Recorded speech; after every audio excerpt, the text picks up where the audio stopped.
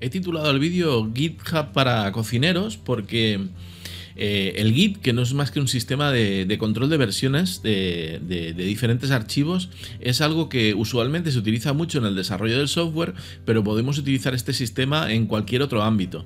Básicamente lo que hace es controlar las versiones de un archivo o un grupo de archivos y cómo se ramifican diferentes versiones y después se vuelven a mezclar para crear la, versión definitiva. Esto es algo que nos pasa cada día con cualquier archivo, trabajemos de lo que trabajemos, de diseñadores, de cocineros, de guionistas o de lo que sea. Todo el mundo cuando estamos redactando un archivo, guardamos una versión, probamos alguna cosa, eh, volvemos a grabar una versión y en algún momento necesito volver atrás y recuperar una versión antigua o mezclar dos versiones diferentes. Esto es lo que hace un sistema de control de versiones.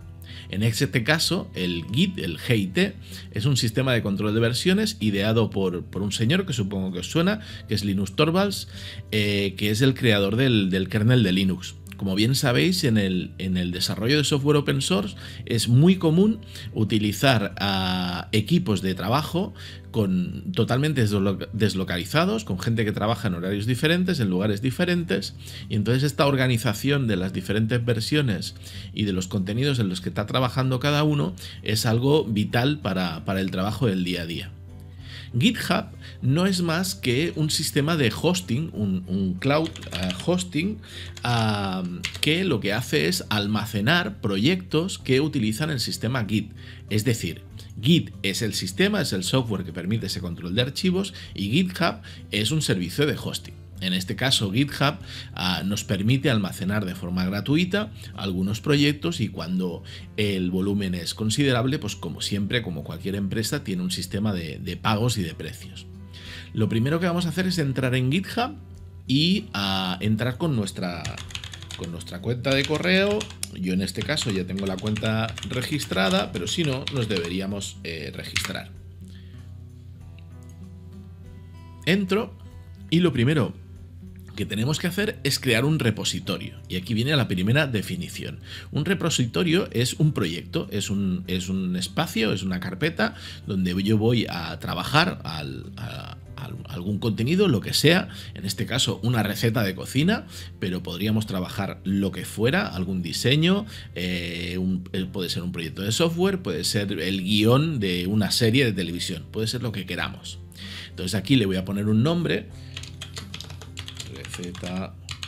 tortilla. ¿Vale? Y vamos a indicar, pues, si el proyecto es público, es decir, si cualquiera puede acceder a este proyecto y puede contribuir en el desarrollo del proyecto, si es un proyecto privado, que es, que es mío. Voy a añadir un archivo de README. Un README es un, es un archivo de texto que indica qué hay en el proyecto, de qué se trata. Y voy a añadir una licencia. La licencia establece cuál es el, el la licencia de, exploración del proyecto. En este caso voy a utilizar una licencia MIT, que es una licencia bastante abierta. Creo el repositorio y entonces de forma automática eh, GitHub pues me hace ese espacio para que yo pueda trabajar en ese proyecto que ahora mismo se llama receta de tortilla.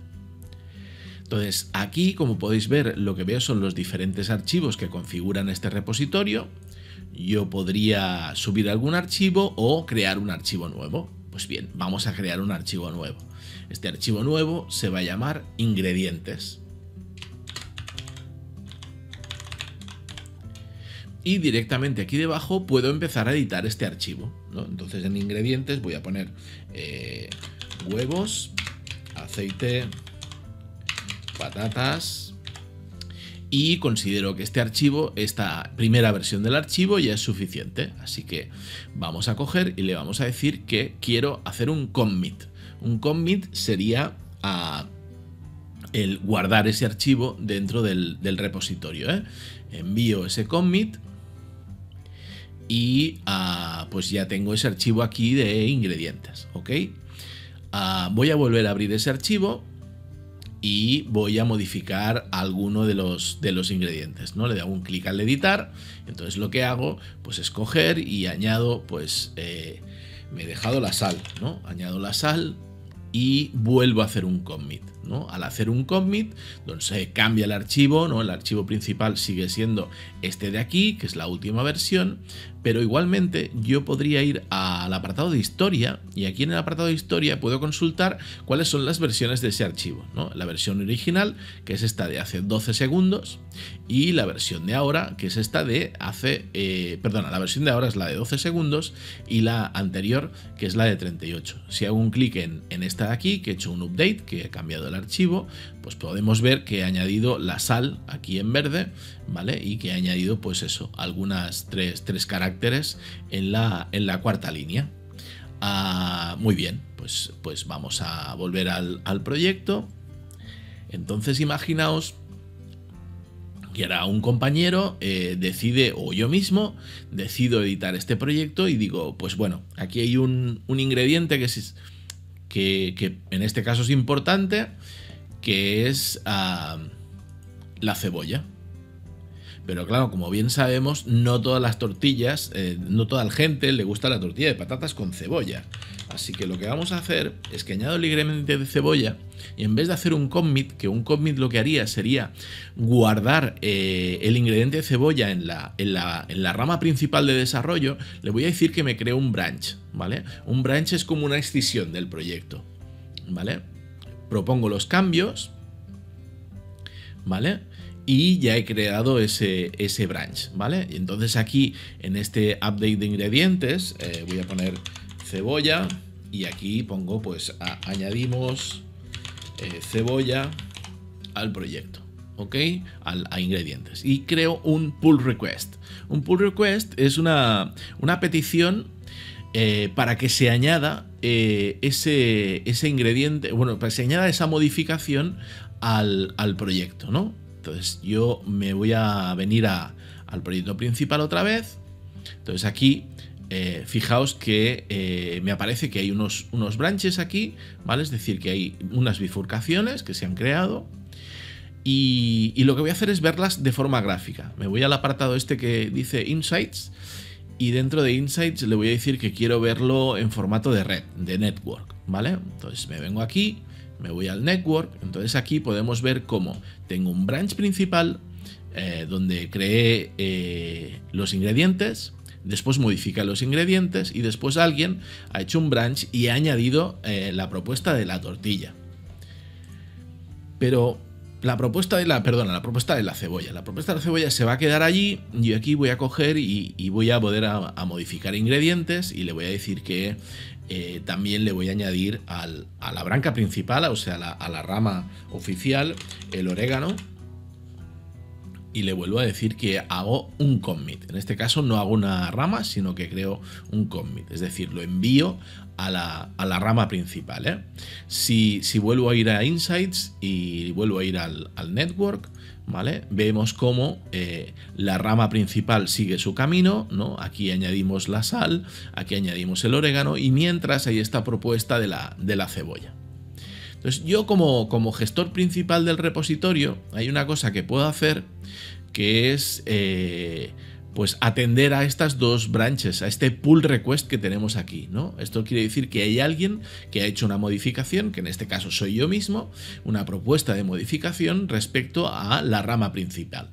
Así que hago un clic en este pull request, eh, veo que el pull request se llama eh, update ingredientes cebolla, hago un clic en este pull request y entonces aquí ah, ya me avisa que hay un conflicto.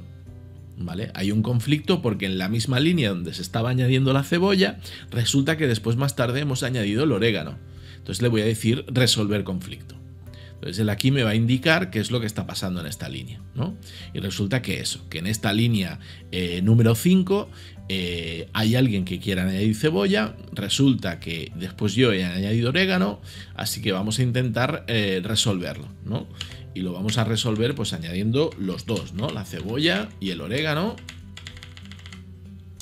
¿vale? Y, y como ya lo tenemos, vamos a marcarlo como resuelto y vamos a hacer un merge. Un merge es mezclar. Es decir, ahora vamos a mezclar esa rama donde se estaba trabajando con la cebolla con la rama principal que ya tenemos todos los ingredientes configurados. Hacemos ese merge. eh, le damos a aceptar, le decimos que sí, que quiero mezclar ese pull request, es decir, esa petición que me han hecho de modificar, le voy a decir que sí, que la mezcle, confirmo la, mezcla y ahora el, archivo principal eh, veremos que en esta, en esta última versión ya contiene la cebolla y el orégano. De hecho, si vamos al Insights y analizamos el, network, podemos ver cómo este branch que se creó en este momento se ha mezclado y se ha tenido que resolver un conflicto con el, con la, el cambio del orégano y ha vuelto otra vez al programa principal. Y ahora volvemos a tener un solo branch, que es el branch que llamamos master, que es el principal, que ya contiene eh, esa incorporación de ese pull request. ¿Vale?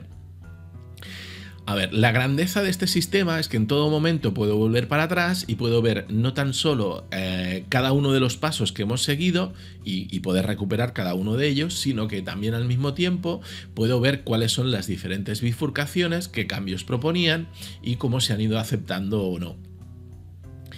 También hay una cosa interesante que podemos hacer, que es hacer eh, totalmente público el proyecto. Ahora, por ejemplo, imaginaos que, añado un archivo y voy a añadir un archivo en formato HTML, que como bien sabéis eh, es un formato que se puede escribir así en, en código ASCII. En un momento vamos a escribir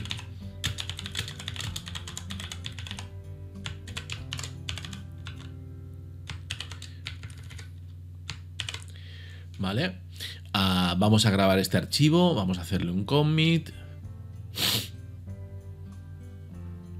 Ya lo tenemos, tenemos este archivo eh, tortilla HTML. Y lo que voy a hacer es pedirle que este repositorio eh, se publique eh, de forma, de forma gráfica. Vamos a hacer un clic en estos tres puntitos, nos vamos a ir a Settings y en el apartado de Settings vamos a ir a la sección de páginas, que está por aquí, páginas, y le vamos a decir que quiero que publique el, main, o sea, la, rama principal, que se publique.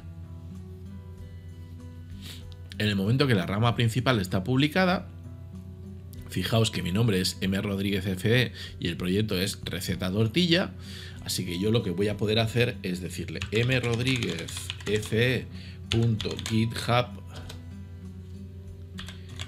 .io barra receta tortilla barra y el archivo se llamaba tortilla.html. Entonces, al estar público, al estar público este archivo, pues se puede acceder desde fuera y como podéis ver, como está en HTML, pues queda formateado con las, las técnicas de HTML. Así que es una muy buena opción para, crear eh, contenidos en formato HTML.